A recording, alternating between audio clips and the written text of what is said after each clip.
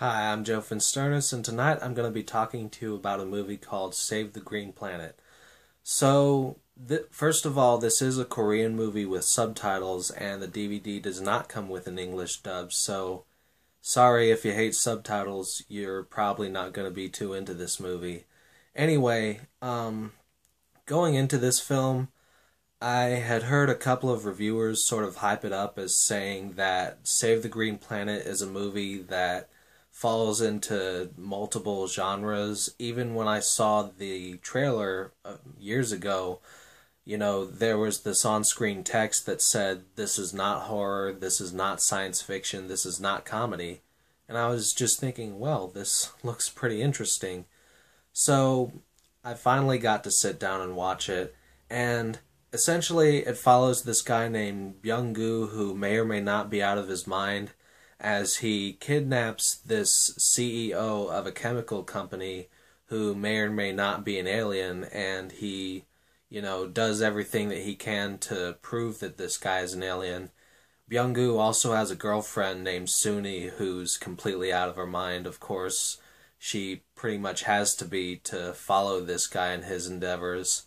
So when I was talking about grabbers a while back, I mentioned that I had three more Alien movies to review this month, and this was one of the ones that I had in mind when I said that. So, um, as for the fact uh, of whether this is, you know, having to deal with aliens or not, I'm not going to give that away because you're going to have to see the film for yourself to find out.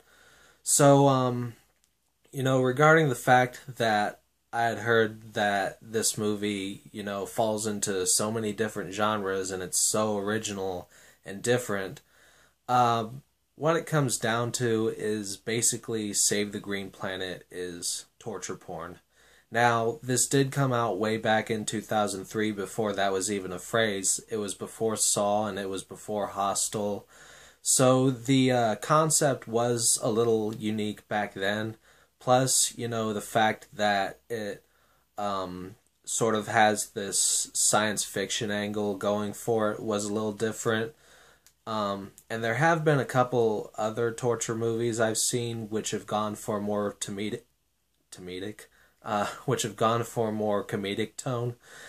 Um, like for example, last year I watched this movie called Inbred. It was a British horror comedy which tried to make torture porn funny, but it just went straight for gross out humor and it was kind of just unpleasant and meh to watch. It really didn't hit my funny bone at all, but to my complete amazement, I never thought that these words would be coming out of my mouth, but this movie made torture funny it was just in the way that it was I know I know how sick that sounds, but it was really just in the way that it was executed here.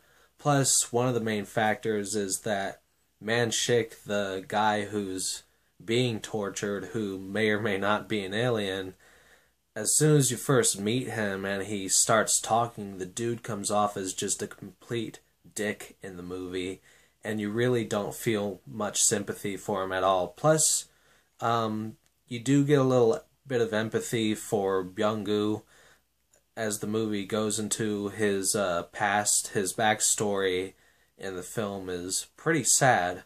Um, there was even like one sort of fake out torture scene that reminded me just a little bit of the ice cream scene from The Punisher also, there is a moment where it straight up goes into the full horror genre.